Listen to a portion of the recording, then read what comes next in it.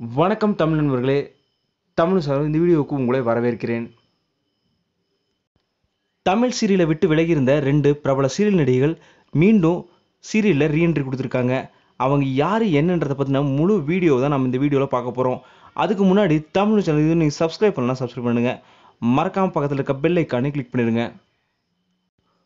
மகராசி serial மூலயமா ரொம்பவும் பிரபலமான ஒரு சீரியல் நடிகை தான் திவ்யா ஸ்ரீதர்.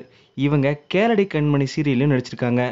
இவங்க சில மாதங்களுக்கு முன்னாடி இந்த சீரியலை விட்டு விலகியிருந்தாங்க. இப்போ திரும்பவும் சீரியலில் ரீஎன்ட்ரி கொடுக்குறாங்க.